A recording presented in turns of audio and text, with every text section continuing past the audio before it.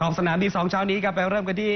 สโมสรของหนองบัวพิชยะ FC นะครับทีมแชมป์จากโซนภาคเหนือ ก็เตรียมที่จะมีโปรแกรมการเก็บตัวฝึกซ้อม ในจังหวัดนครราชสีมา ก่อนมีโปรแกรมในวันที่ 17 กันยายนนี้ บุกไปเยือนอยุธยา FC ในรอบแชมเปี้ยนส์ลีกนะครับสำหรับความเคลื่อนไหวของหนองบัวพิชยะ FC นะครับทีมแชมป์จากโซนภาคเหนือ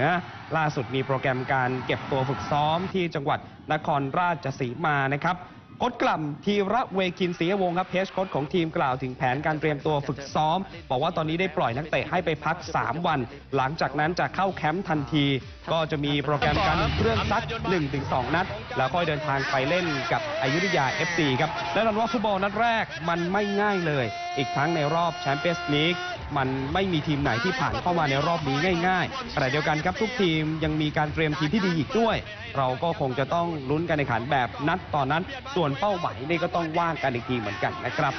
มีโปรแกรมการแข่งขันนะครับสำหรับการแข่งขันระหว่างหนองบัวพิชย FC ที่จะเจอกับทางด้านของอยุธยา FC ทีมรองแชมป์จากโซนภาคกลางในวันที่ 17 กันยายนนี้นะครับ สถิติของหนองบัวพิชยาเอฟซีเกมรุกถือว่ายอดเยี่ยมเลยทีเดียวนะครับ ส่วนเกมในบ้านนี่ก็เป็นหนึ่งทีมที่เป็นแข็งแกร่งมากนะครับสำหรับสถิติการเล่นในบ้านของหนองบัวพิชยาเอฟซี